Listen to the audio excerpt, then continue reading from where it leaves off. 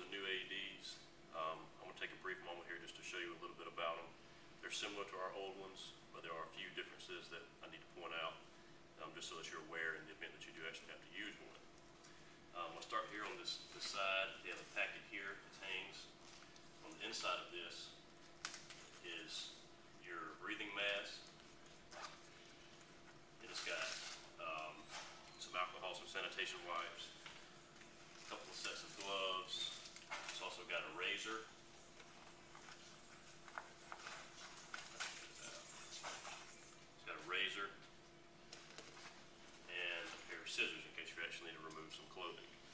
Um, on the actual front part of the AED, there's a little orange, yellowish tab here. If you want to open the AED, just pull this. This Velcro will come up. On the inside of it, we'll have your EAP, your emergency action plan. And this little tab here is a spare set of electro pads.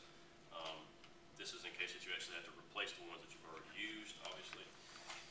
Um, and to open the machine, if you look on the front, front cover here, there's a tab that says on, off. Um, this actually turns on the machine and opens the front cover. So I'm gonna open this and then it's gonna come on. But I'm also gonna, as soon as it comes on, I'm gonna cut it off because I don't wanna waste the batteries. And to do that, you just hold it down for a couple of seconds.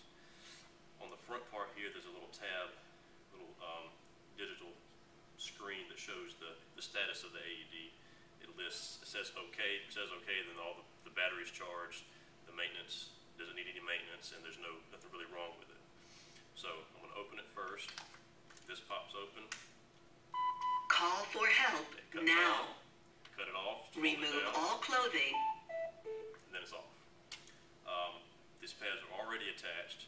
This red tab here is the draw cord. What that does is, is if you actually have to use it, you pull this cord and it'll unlo- un- unravel this pack and the cords will come out. Then the two pads will come out with it. And the pads are color coded is where you need to put them. It shows it in the tab here and actually on the actual pack. Yellow goes high, the red goes low, and on the underside of it is the shock button. This button is what you'll use if the machine actually tells you to shock the patient. You let it press this down, it'll shock. Um, that's pretty much the difference, is because the other one had some tabs that it would dial up, and these ones don't have that. So once you cut it on, open it, it cuts on, you can cut it back off. If you leave it open, it'll cut back on again. So I'm gonna close it. And that's pretty much the difference. Um, they, they're all gonna be labeled as to their locations. This one's actually the football athletic training one, but if you're at the different sites, they'll have the different names